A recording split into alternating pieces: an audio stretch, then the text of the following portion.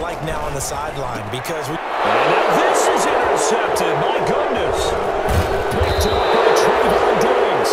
And they take possession two yards away from midfield at the 48-yard line. Yet another